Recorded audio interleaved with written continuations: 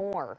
No doubt about it, the Portland Police Bureau has been in the national headlines the past two years as the city grappled with destructive and violent riots, a record number of homicides, and skyrocketing gun violence that continues. Our Liz Burch sat down for a rare one-on-one with Police Chief Chuck Lovell. You're asking tough questions about the future of the Bureau as we all try to look ahead to what's next. Right. He said he's optimistic about the future for the Bureau and the future for Portland, although he says getting police staffing to where he thinks it needs to be could take some time, so could getting a handle on violent crime.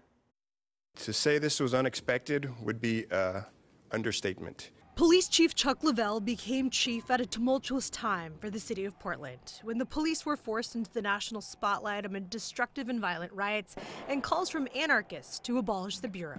What was that conversation like when you decided to take over? I mean, what did you tell your wife when you were walking into that? You knew that it was a dangerous time for police and, and for people in general. Mm -hmm.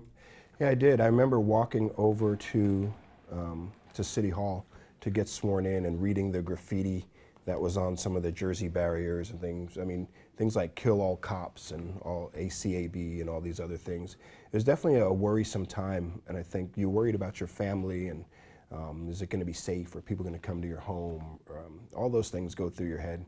But for me, I wouldn't be sitting here today if I didn't love this city and this organization. In the years that ensued, many officers left the Bureau and gun violence skyrocketed. He's hopeful the 20 new hires will help the Bureau get a handle on the violence, but it will take time to train them before they hit the streets. According to data KOIN obtained from the Bureau, this year gun violence and murders are showing no sign of slowing down. Why do you think it hasn't improved? Well, I think there's probably a lot of things that, that play into it. Um, and remember, for there's about a two-year period where our court systems were effectively shut down. Um, there's a, a, huge backlog of cases, and there's some people who probably would be on some type of supervision or some type of adjudication from a court case that have just been out and uh, you know maybe engaged in crime or, or, gun violence or things of that nature too. So I think we're dealing with that backlog, and there are a lot of uh, guns on the street too. Chief Lovell stressed that police can't combat crime alone, but says they're doing everything they can. The Bureau has also been the center of attention for officer involved shootings this year, some of which have been deadly. I mean, we had a rash of them during the summer, but it was really, uh, a lot of them were involving the focus intervention team also. And, you know, you look at the body of work people are doing. They're going after people with guns, people that are shooting other people. So, I mean, to some degree, that's the, you know, the demographic you're operating in. So um, you're, you're probably going to have some of that. But I think in these cases, um, you know, there, there are people who are pointing guns at officers, shooting at officers and things of that nature, and, you know, officers have to respond accordingly.